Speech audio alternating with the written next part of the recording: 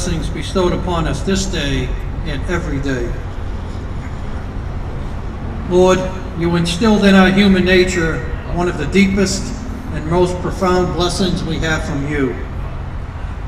It is brought to the forefront this day, and that is the blessing of remembrance. You help us to remember six firefighters who sacrificed all for the safety of others. You instruct us to remember their deeds along with their character. And you guide us into the truth of remembering their lives so that we may move forward with our own. This day, Lord, we thank you in a most particular way for the gift of memory.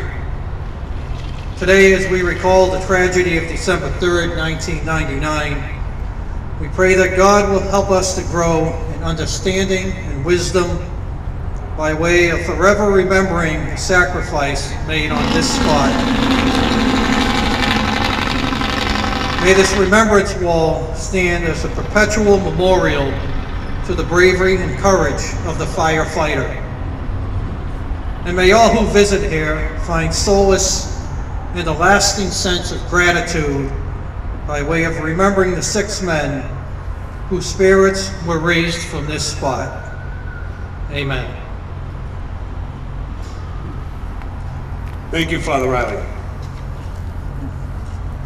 I would now like to introduce Father Scanlon, who will read the firefighter's prayer.